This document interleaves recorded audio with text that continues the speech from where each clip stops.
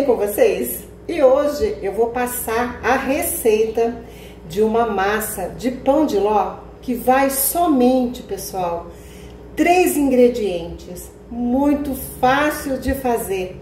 E você que quer começar a fazer um bolo aí para fora, né, gente? Aqueles bolo recheado, bolo delícia, gente, bolo Marta Rocha, sabe? Aquele bolo bem recheadão, bem bonito.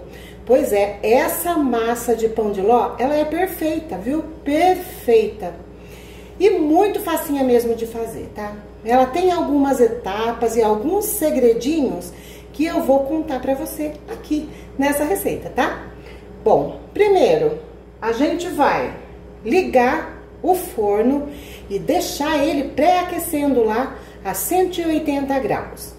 Depois, vamos pegar uma forma. A minha tem 27 de diâmetro e 10 aqui, ó, de altura, tá? Vamos untar somente o fundo aqui da forma. A lateral, a gente não vai untar, tá? Não é preciso untar. Vamos untar o fundo e com um dedinho aqui, ó, untar o fundo e um dedinho acima do fundo, você também dá uma passadinha da manteiga, margarina, desmoldante, o que você quiser, tá? Aqui eu cortei o papel manteiga, coloquei a forma em cima do papel manteiga, marquei e cortei. Agora a gente vai colocar esse fundinho aqui na forma, esse papel manteiga, tá? Então, acerta ele bem direitinho.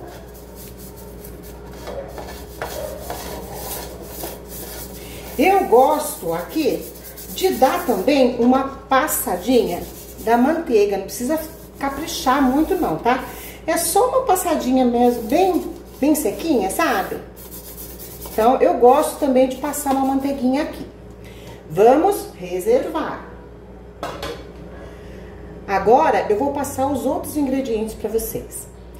Agora aqui então, na batedeira de bolo, eu já quebrei aqui, ó, 10 ovos, tá, gente? Na verdade aqui tem 9, porque eu vou mostrar para vocês o que é que eu fiz aqui.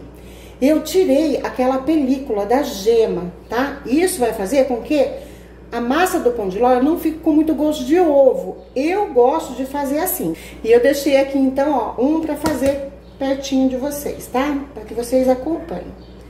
Eu não passo pela peneira, gente, que é muito trabalhoso passar pela peneira. Eu somente, somente faço assim, ó. Coloco assim num potinho, dou uma beliscadinha aqui na gema, estouro ela e depois eu pego a película, ó. Dou uma batidinha para tirar o excesso e jogo fora, gente, tá? E aqui então fica a gema sem a película muito mais fácil, prático, né? E é uma dica bem legal aí para vocês fazerem. Isso você pode fazer com tudo, com omelete, tá? Então, se você não é muito chegado no gostinho do ovo, faz isso, tá?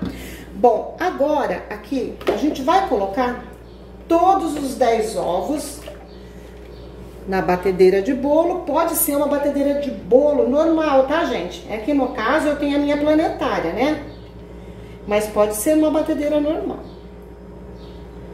Colocamos tudo. Vou colocar aqui o batedor. Vou fechar aqui a minha planetária. E agora a gente vai deixar bater esse ovo até ele dobrar de volume, gente. Deixar ele bem fofão mesmo, tá? Você pode fazer isso na velocidade alta e vai ficar batendo em torno aí de uns 8, 10 minutos, tá? Então, vou bater aqui e já já eu volto com vocês.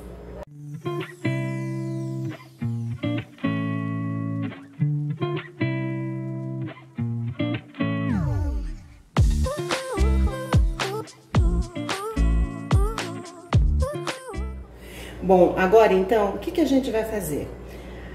Eu tenho aqui 300 gramas de açúcar, que é aquele açúcar refinado comum que a gente encontra no supermercado. Mas eu peguei esse açúcar, coloquei no copo do liquidificador e dei umas pulsadas. Isso fez com que esse açúcar ficasse bem mais fininho, tá? Então, é legal que você faça isso. Eu sempre fiz isso. Ah, Yara, eu posso colocar o açúcar de confeiteiro, então, no lugar? Gente, eu nunca fiz com açúcar de confeiteiro, tá? Eu sempre fiz assim e sempre deu certo. Um time que tá ganhando a gente não mexe, né? Bom, então agora aqui, eu vou tirar essa parte da batedeira, vou colocar para bater em velocidade média e vou acrescentando esse açúcar bem aos poucos, bem devagarinho e bem levinho aqui em cima. Vou deixar aqui para vocês acompanharem, tá?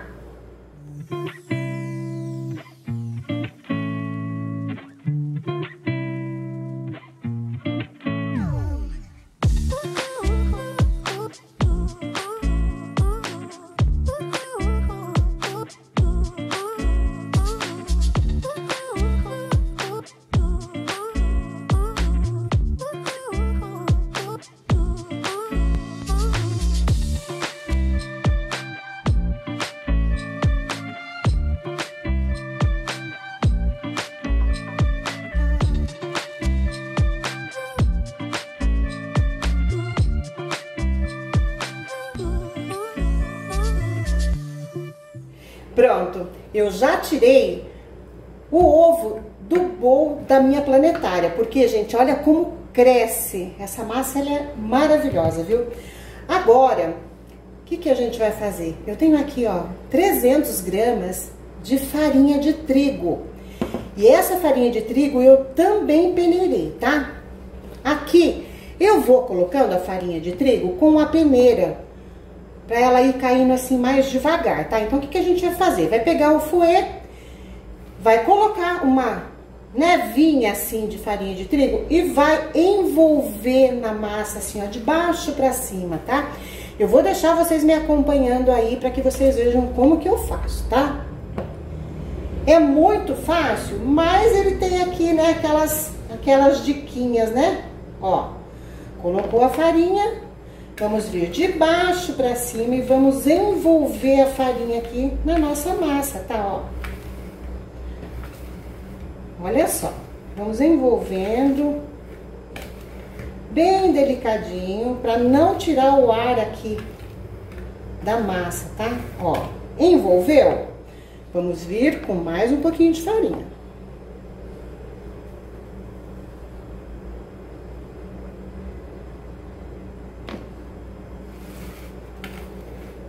É aquele pão de ló que você tem que fazer com muito carinho, sabe? ó, de baixo pra cima e vai envolvendo toda a farinha, ó. Fica uma massa super linda, viu, gente? E muito legal pra gente poder rechear. Você pode rechear esse pão de ló do que, gente, você quiser, tá? Ó, tá envolvendo a farinha. E você vai fazer isso até usar todinha a farinha. Essa receita é bem precisa, tá? Então não fica preocupado se vai usar mais farinha ou menos farinha, tá? É essa quantia mesmo, não tem como fugir, tá? Se você fizer tudo na sequência que eu estou mostrando aqui, gente, vai dar super certo a sua receita, tá? Nessa sequência, vai facilitar aí tudo pra você. Eu vou colocar numa forma redonda, mas você poderia colocar também numa forma quadrada, tá? Então, isso é muito a gosto aí de vocês, tá? Ó misturou, vamos colocando farinha.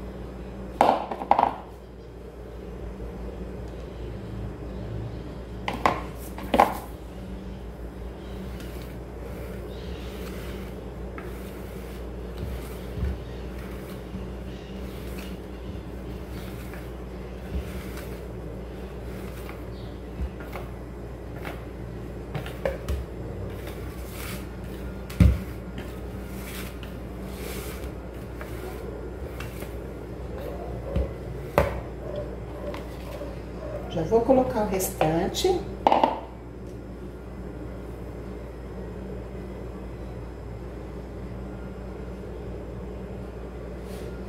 E pronto. Agora a gente só vai acabar de envolver aqui. E por último de tudo, você pode colocar, se quiser, uma essência. Eu aqui no caso, eu vou colocar a essência de baunilha, tá? Porque o recheio que eu vou colocar aqui depois, nesse bolo, vai combinar super, tá? Com o sabor da baunilha. Mas hoje aqui a receitinha é o nosso bolo de três ingredientes, né, gente? Nosso pão de ló, hum, maravilhoso. Ó, sentiu que misturou bem a farinha? Agora a gente vai vir com a essência, eu vou colocar o equivalente aí uma colher de sopa, tá, gente? Ó, o meu até acabou aqui, ó. Vamos misturar. Vamos colocar na nossa forma. Ó. Olha, gente, que massa mais perfeita. Linda, né? Tá até pesado aqui pra mim. Deixa eu levar pertinho de vocês, olha. Essa massa é ótima. Pronto, gente, ó. Misturou. Agora, então, a gente vai vir com a forma, que já está untada. E vamos colocar a nossa massa na forma, tá?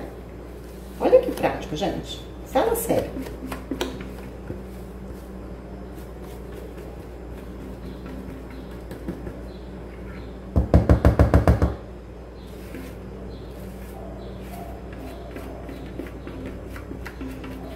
Então, se o seu bowl aí da batedeira de bolo não for grande, já deixa reservadinho aí uma tigelinha maior, tá, gente?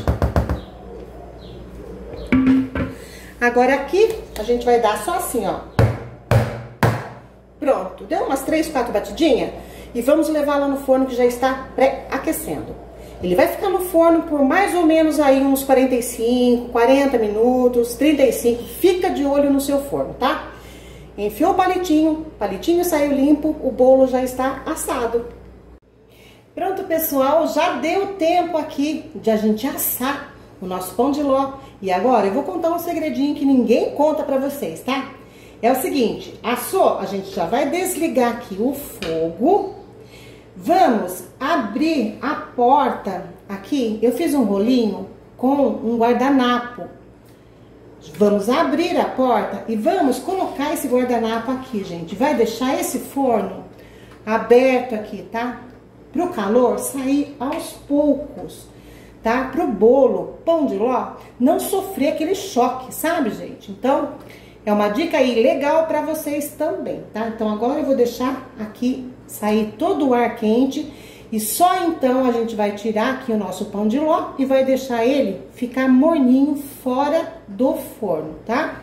Pronto, pessoal, o ar quente lá do forno já saiu e agora sim a gente tira o nosso pão de ló do forno e deixa ele aqui em cima para ficar morno. Ele está super quente aqui ainda, gente, tá?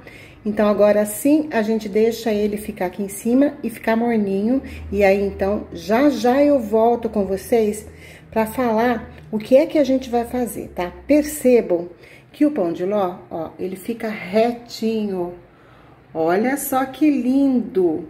E essa dica, para ele ficar retinho aqui, tanto a dica de não untar a lateral, quanto a dica de você deixar o forno entreaberto para ir saindo o calorzinho devagar. Super vale a pena você fazer isso, gente, tá? São segredinhos assim, ó, que são super importantes, tá? Nessa receita, ok? Bom, pessoal, então eu vou deixar dar aquela mornadinha aqui no nosso pão de ló e já já eu volto pra gente poder, então, dar sequência na nossa receita. Pronto, pessoal, e com o nosso pão de ló já morninho. Agora, então, eu vou desenformar ele aqui para que vocês vejam, tá? Pega uma faca que não tenha muita serra. Vamos passar, já que a gente não untou a lateral. Então, vamos passar essa faca aqui, gente, ó. Passa bem passadinho, desgrudando totalmente a lateral aqui do nosso pão de ló, tá? Ó. Feito isso, agora a gente vai vir com o prato. Vamos colocar. E vamos virar. E pedir para Deus que saia tudo bem. Mentira, gente. Vai sair ótimo, tá? Tenho certeza. Olha só. Olha esse pão de ló, gente. Olha só a forma. Tá vendo? Perfeito, né? Agora, aqui, lembra que a gente colocou aquela folha de papel manteiga? Pois é. Agora, então, a gente vai vir e vai tirar essa folhinha de papel manteiga. E esse bolo, você vai poder rechear sem precisar tirar as bordas, porque tudo nele ficou macio. Olha isso, gente, ó. Tem como vocês verem? Vou até levar de pertinho, porque é muito perfeito, né? Olha. Olha a maciez desse pão de ló. E aqui também, ó. Super maciozinho, tá? Então, agora aqui é só a gente tirar aqui esse papel. Eu não vou tirar por completo, pessoal, por quê? Porque eu ainda vou fazer uma receita aqui para vocês.